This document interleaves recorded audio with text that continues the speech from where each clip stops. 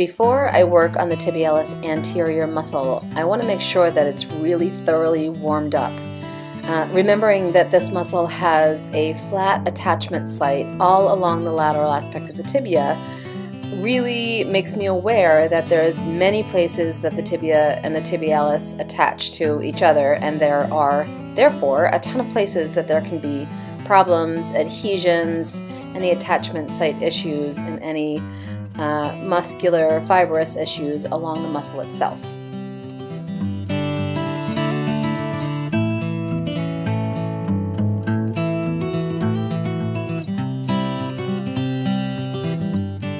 The fibers of the tibialis anterior muscle run parallel to the tibia, so my first deep work is going to be to try to separate those out linearly. So I'm going to take my thumb, I'm going to sink down into that muscle, and if my thumb gets tired, I like to use my other hand to help out with this one. This is one of those techniques that is so helpful and has saved my thumb a million times over. So I want to use my thumb, and I'm, i find that I get a lot of good work with my thumb, but I don't want to abuse it.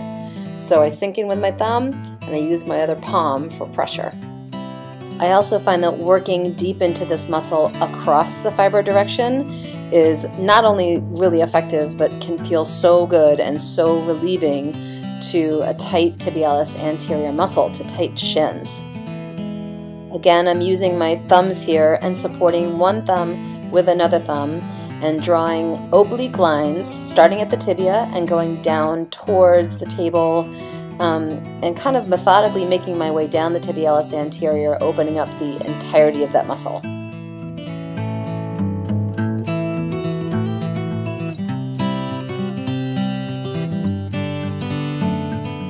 Making my way down to the foot, I'm going to use one hand to pull the foot down into plantar flexion and inversion, which is lengthening out that muscle, and I'm going to use my other hand to slide up the muscle, making sure that what I'm doing here is kind of pinning it down and then stretching it out.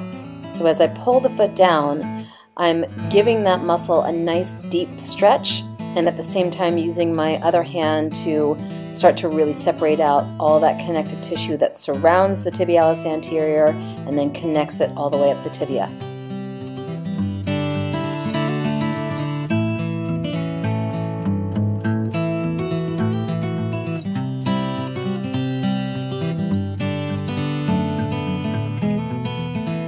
This is my version of a pin and stretch for this muscle.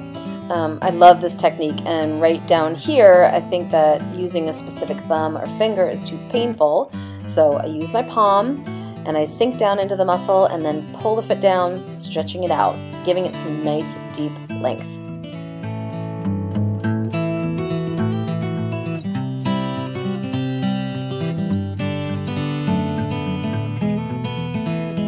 Sometimes a client's shin just feels like it wants to be steamrolled out. And so that's what I do. I use a nice broad forearm against that nice broad muscle and I flatten it out.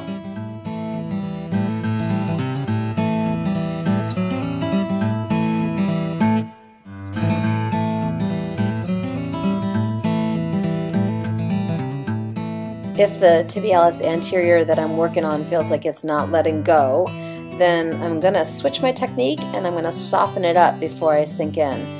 So finding that little nugget of um, pressure that might be poignant for your client, I sink in, pull the foot up into dorsiflexion and that softens that muscle up and I find that it can really release under that situation. starts to unravel a little bit more and I can sink in a little bit deeper.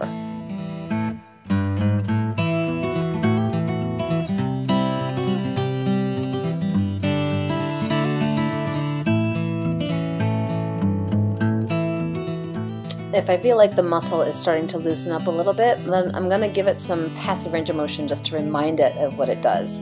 And I feel like this feels really good to the client. And um, it kind of resets what the muscle is doing and reminds it how it's supposed to work.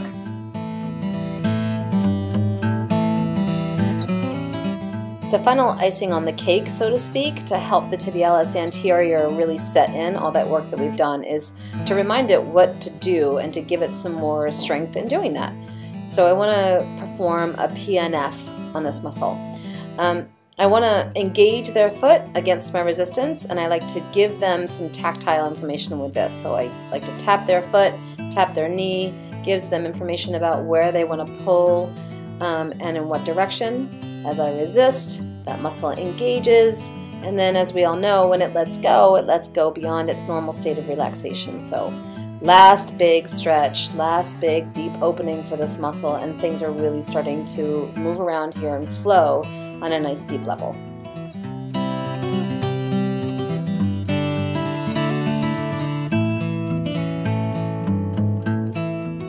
This particular client that I was working with was still feeling some pain and some pinching in the very front of her ankle. So I wanted to address it, and I was having some suspicion that it was attached to the um, extensor digitorum longus muscle. So I did some myofascial release just kind of opening up that front of the ankle and right into those tendons. And then I had her flex her toes against my fingers, so a little more engagement of that specific muscle and offered some opening up of that and it really seemed to help. It really seemed to release that last bit of um, tension and issues that was happening in her foot.